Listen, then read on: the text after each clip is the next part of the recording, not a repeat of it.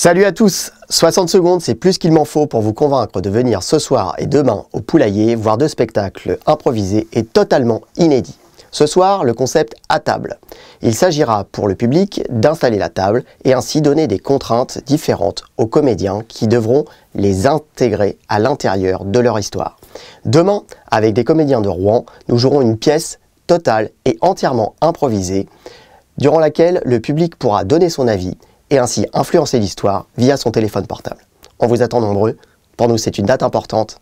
À bientôt, ce soir et demain, 20h30 au Poulailler, 8 bis rue Général Sarai. Salut